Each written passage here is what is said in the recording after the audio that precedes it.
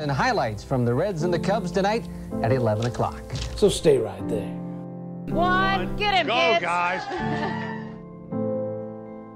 76,000 screaming fans. It seems like yesterday since I first started here at Channel 7, but there have been too many yesterdays and last weeks and last years to make that possible. There are very few of us in any line of work who can brag about four decades at the same place.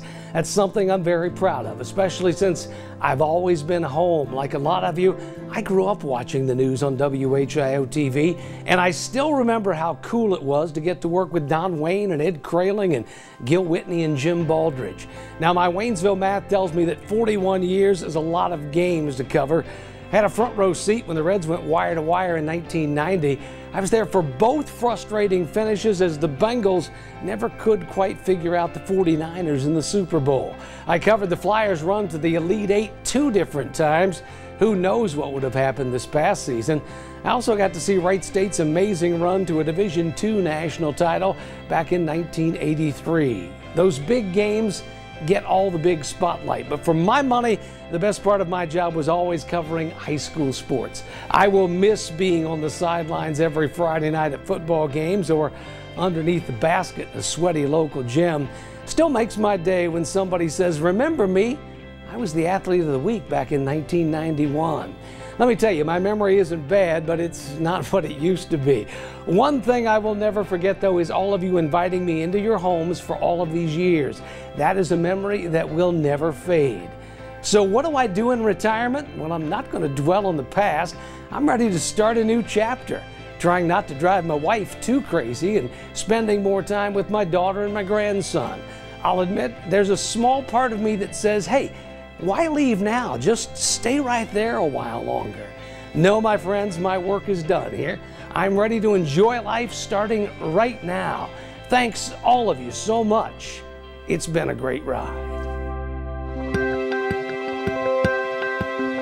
The swing pass on the outside to Johnson, in for the touchdown.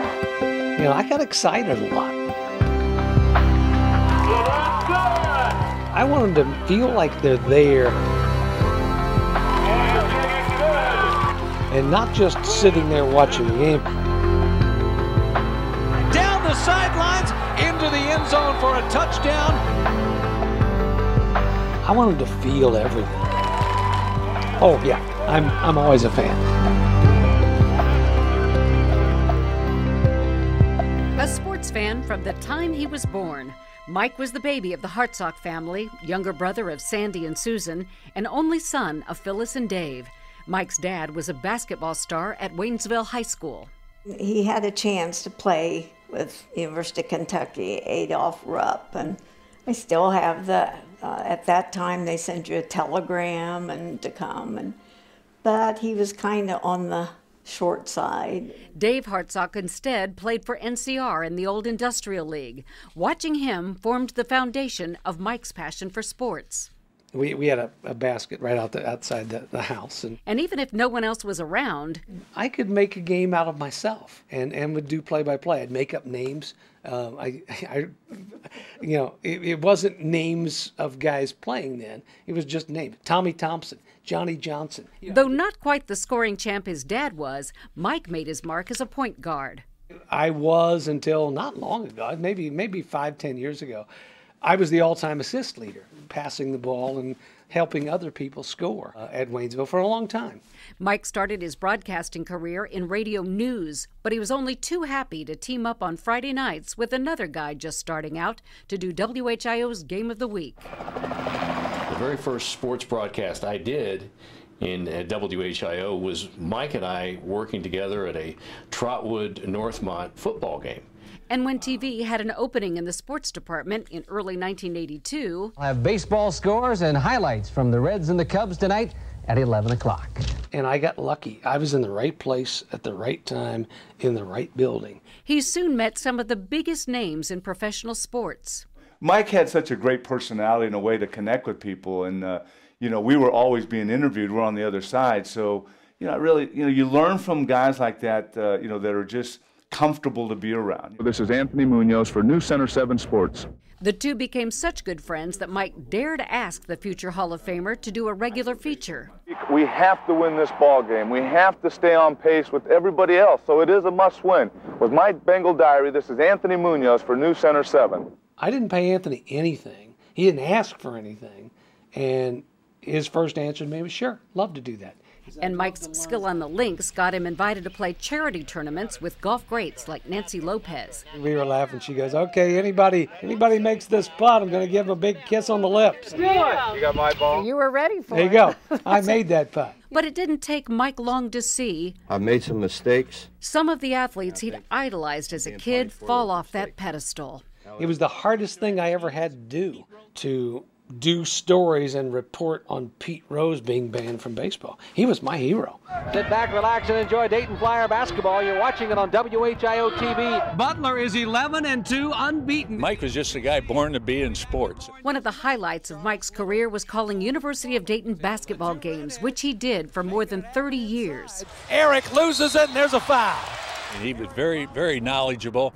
He also hosted the Sunday Morning Coaches Show in those first few years with legendary Flyers coach Don Donoher. And he just had a di- disposition. It was, it was easy to work with. And coaches aren't easy to work with because they're always under stress. And uh, he, he was just, uh, just a joy to be with. And he worked at building relationships with the players.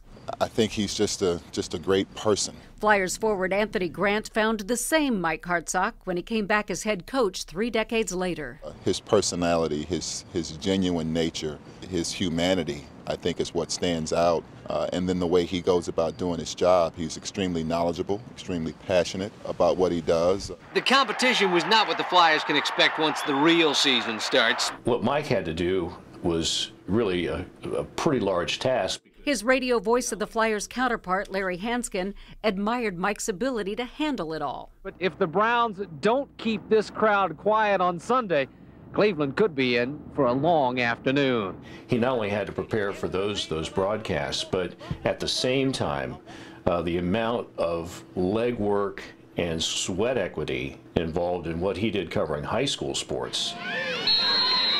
You know, he had all of those plates spinning as well. Not to mention a new addition at home. This is Jessica Lynn Hartsock. Uh, not quite 12 hours old, bless you. He proudly introduced his newborn daughter to our viewers when he became a dad in 1984. Already a daddy's girl, pretty much so. She's. She, oh, goodness, you're embarrassing people. And as she grew up, everybody knew what Jessica's dad did for a living. Kids at school, I think sometimes they give me that stay right there. So stay right there. But if they found Mike's signature line a bit corny, At that time, it was still cool to have your dad drop off a football in a helicopter. and sometimes he delivered a soccer ball. It's Mike Hartsock. Covering high school games, no matter the sport, is what Mike loved more than any other part of his job. If there's something I'm going to miss, it's covering our kids. I'm 65 years old, and every Friday night, I go out with a big camera on my shoulder to shoot a high school football game. Not many people in my job do that. And when those kids and their families went home after the game, Mike went back to the newsroom to write and edit his highlights and then deliver them in that unique Hartsock style. Hi again, everybody. Ready or not, it's time to kick off another high school football season. Whether it was two 7 0 teams or two teams that hadn't won a game, that made those kids' night. That may have made those kids' season if we had that had highlights of that game on and uh, and showed those kids. Working nights and weekends, Mike missed a lot with his own family. You know, my wife has put up with a lot, and uh, my daughter has put up with a lot. I miss stuff from Jessica when she was growing up. I miss I miss stuff that she was doing because I had to be on the air. And now there's someone else he doesn't want to miss spending time with. My name is Alex, and Mike Hartsock is my grandpa. My favorite memory of my grandpa is playing video games.